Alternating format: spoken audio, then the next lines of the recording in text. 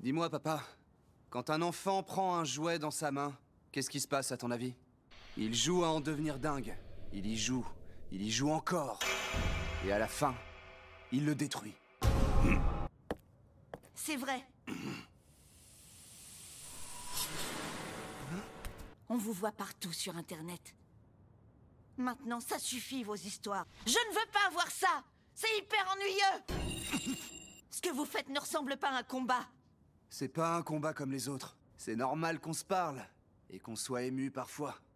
La plupart des techniques que j'ai utilisées ce soir, j'ai pu les utiliser que parce que j'affrontais mon père. Je me fiche de savoir ce que vous faites, mon fils et toi. Mais une chose est sûre. Baki est devenu plus fort qu'avant. Je t'en remercie. Assez discuté. Ce n'est pas un endroit pour une jeune femme ici. Kozue, tu devrais pas rester là. Va te cacher, sinon tu risques d'être blessé. Elle était proche. La fin était proche.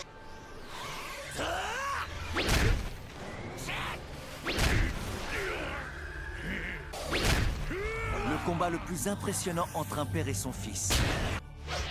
Ce combat père et fils n'était pas une dispute.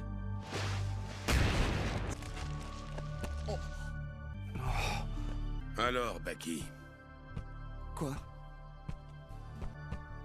T'es d'accord? Ouais. Allez, Baki.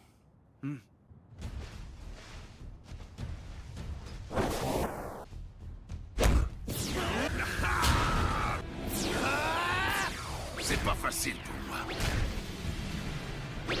J'aimerais tellement continuer.